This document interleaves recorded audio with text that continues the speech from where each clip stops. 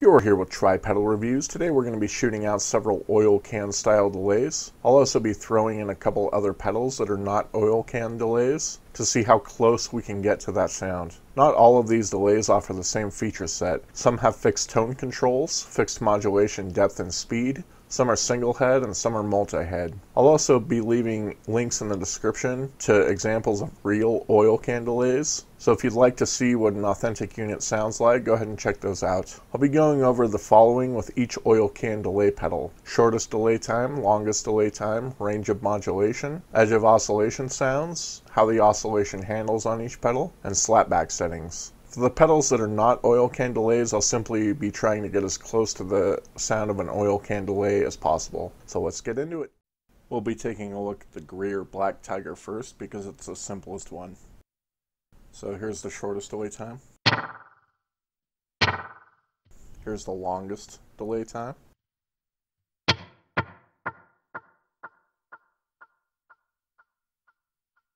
So with this pedal, there's no adjustment for any type of modulation, so it is what it is.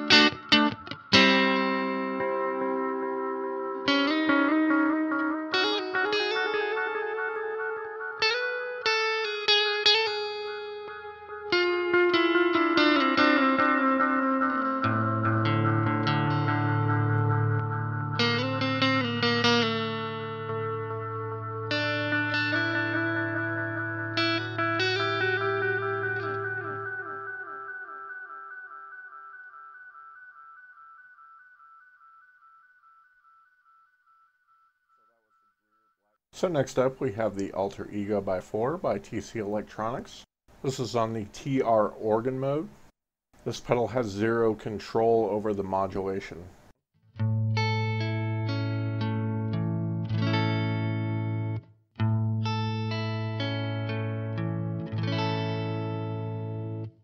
Here's the shortest delay time. Here's the longest delay time with the time knob. But you can get longer delay times if you use tap tempo.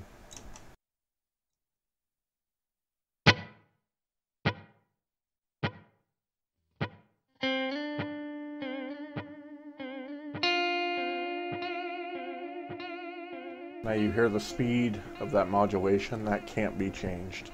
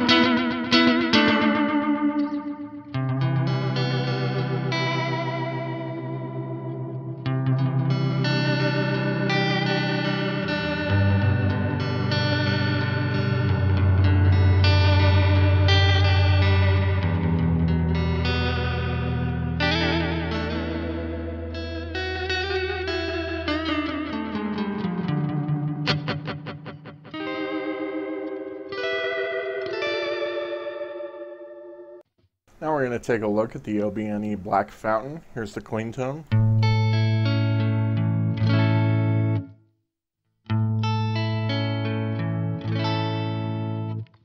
This is the shortest delay time on modern mode. This is the longest delay time on modern mode.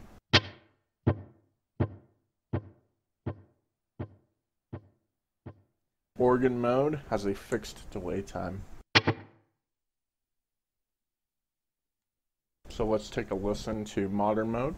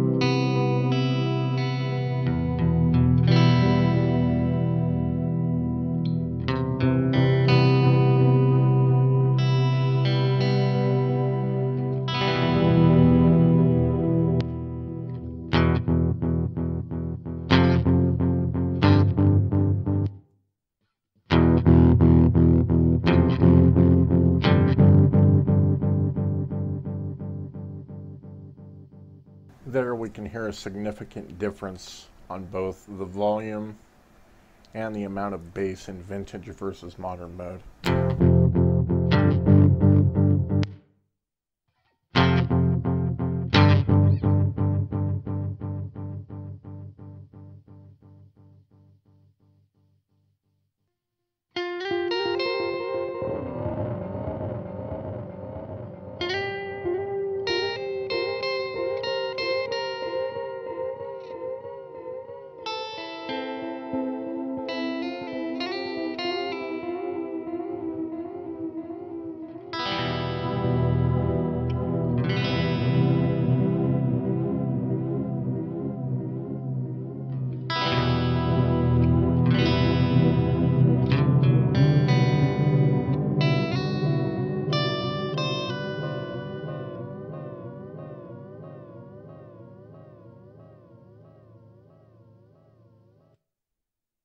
With organ mode, the controls are kind of switched up, so feedback actually doesn't control the feedback at all.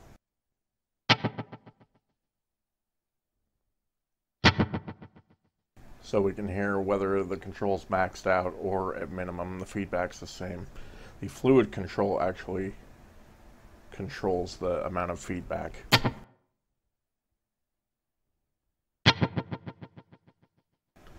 What the feedback does is control the intensity of the modulation.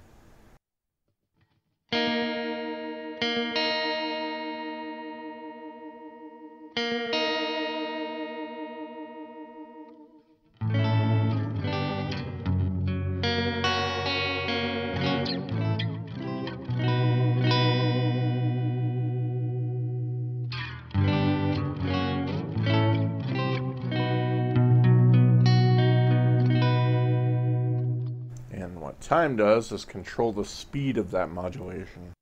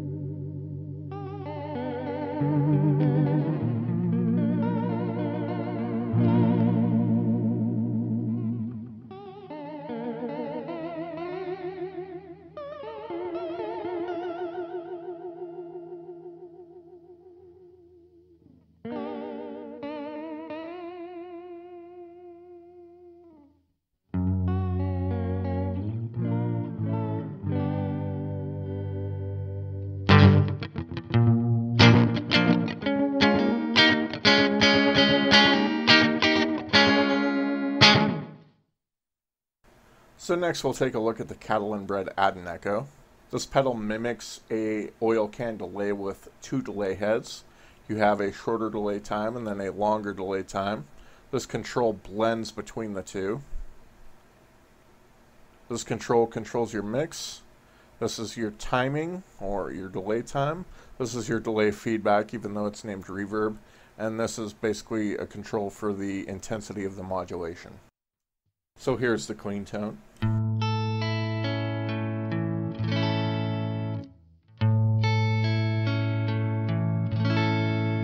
Here is the shortest delay time.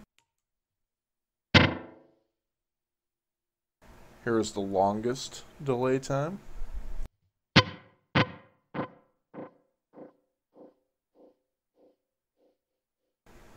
Here's a blend.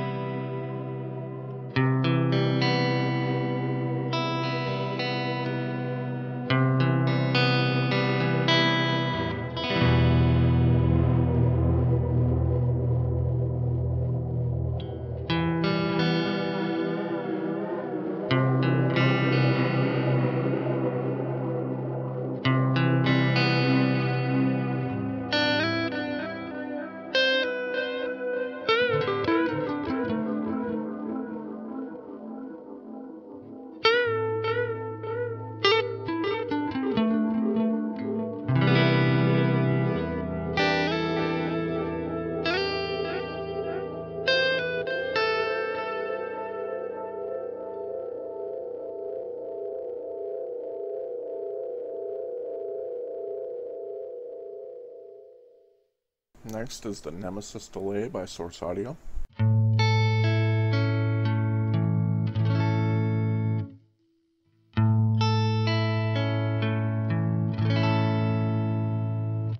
This is the shortest delay time. This is the longest delay time. This is the factory setting for the oil can delay.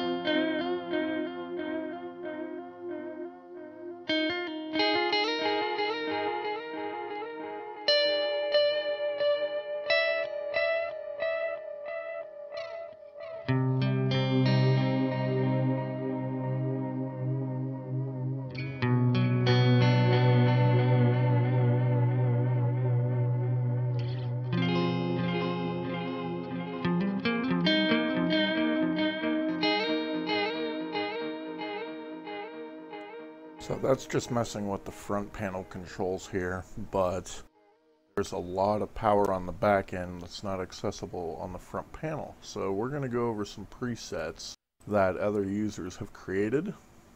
We'll start out with oil can reverb.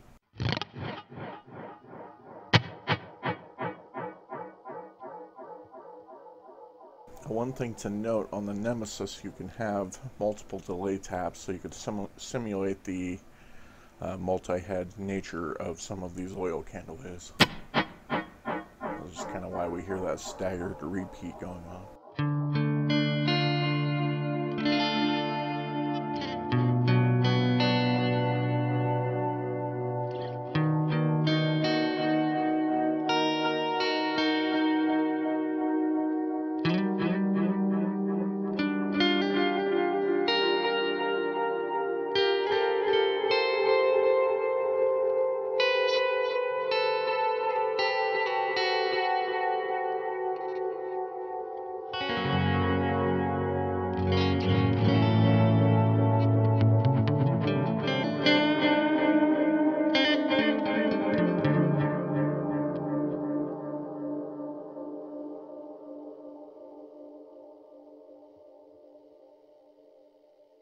Next up is a preset called Swirling.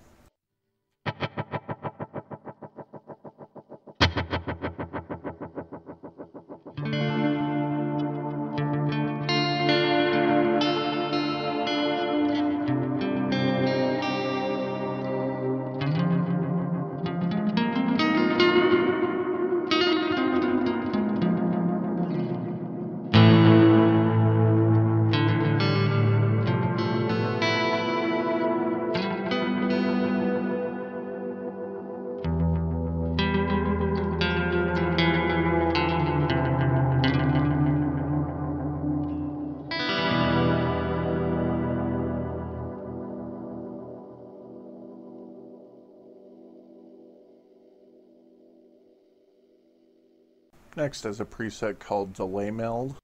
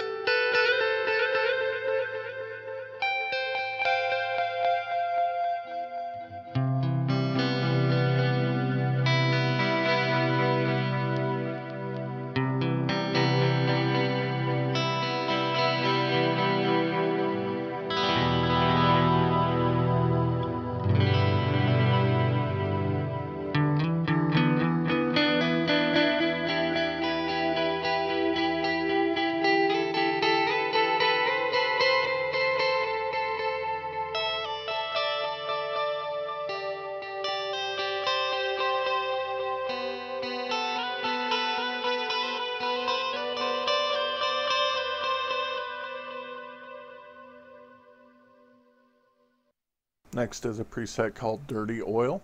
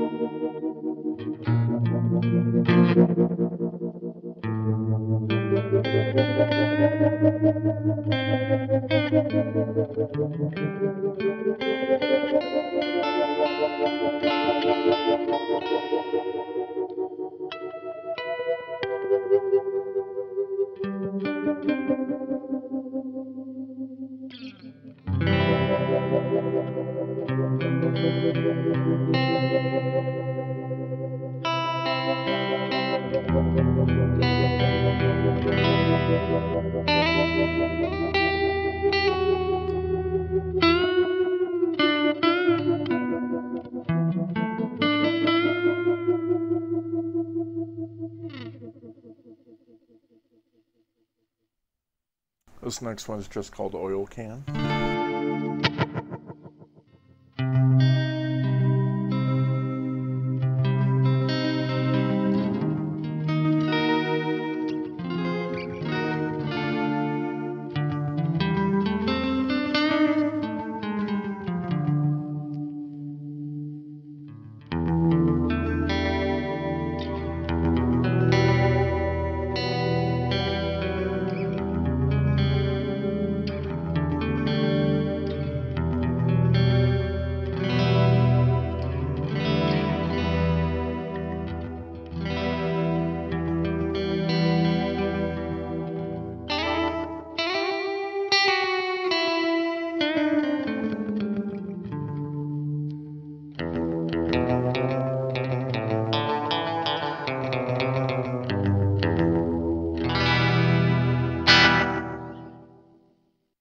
Last one that we're going to go over is a preset that I created called TPR Oil Can.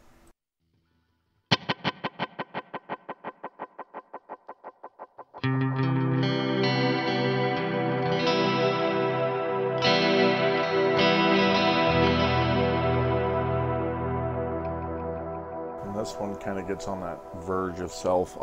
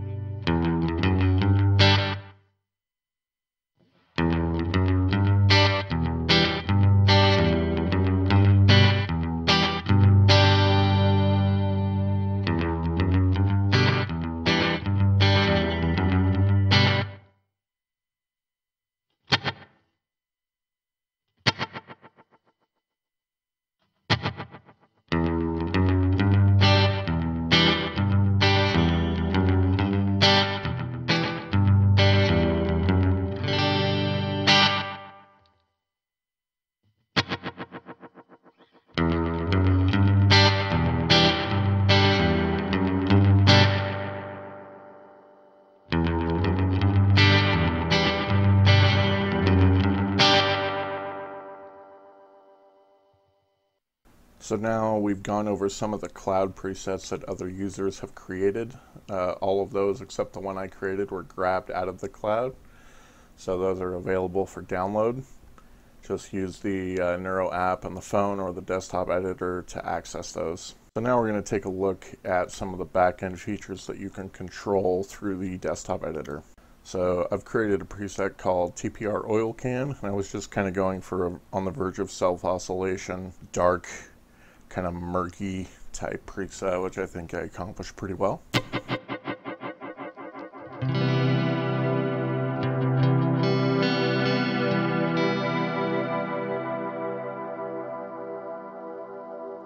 So if we want to crank up the feedback here, we could do that.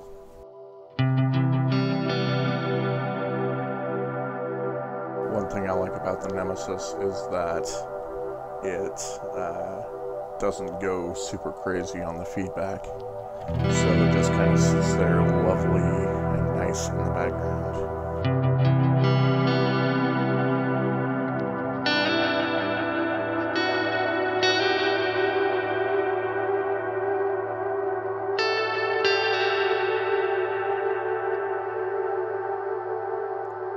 You can do your wet and dry mix here. All the way to fully wet dry. Pretty self-explanatory.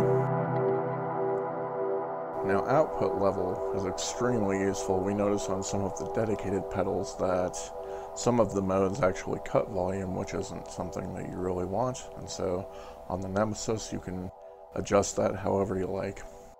Here we have our modulation uh, controls. Here you have an input high cut which can apply to the dry signal. So we can crank that all the way up and our signal will get very dark. Or crank it back and it's bright.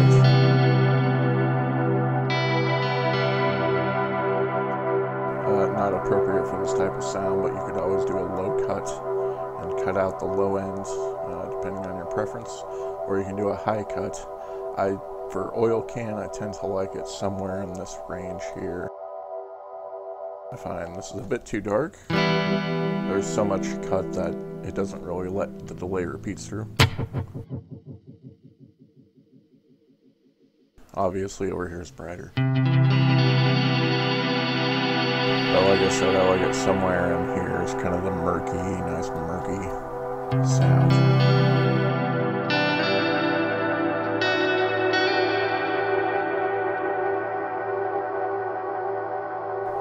Control the diffusion of the repeats.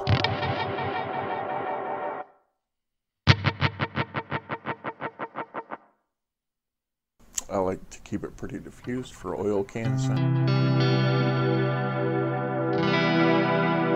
You can reduce the sample rate.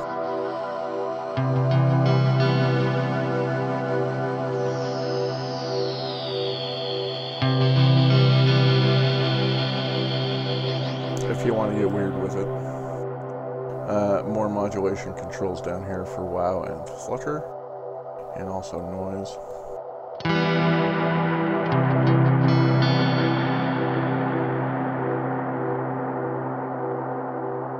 Now one cool thing is, with both noise and distortion, you can kind of get that overdriven